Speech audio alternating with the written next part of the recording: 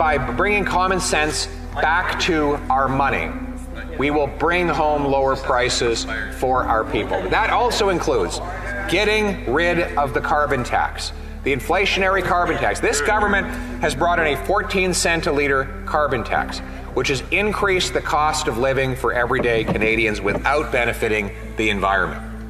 Today, the Prime Minister went so far as to claim that the carbon tax would mean fewer forest fires, something that is uh, uh, utterly contrary to the basic science and basic reality.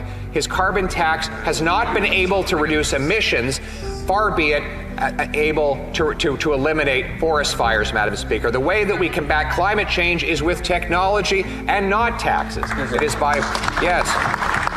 It is by lowering. Yes, it is real.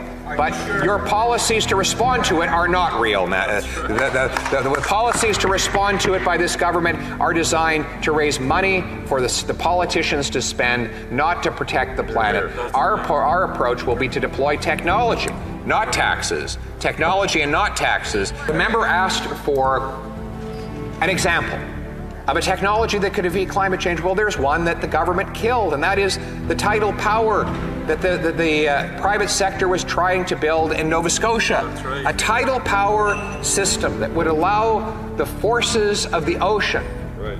to turn propellers and generate electricity, which could be beamed to the shores and put into the electrical grid without a single ton of emissions going into the atmosphere.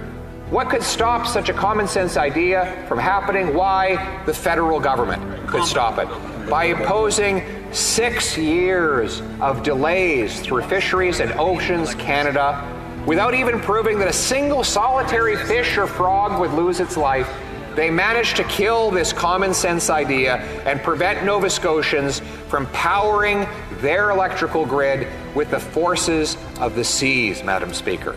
Under my government, we will greenlight green technology, allow for our, uh, our brilliant engineers to invent the technology that will bring about cleaner, greener, and more affordable electricity.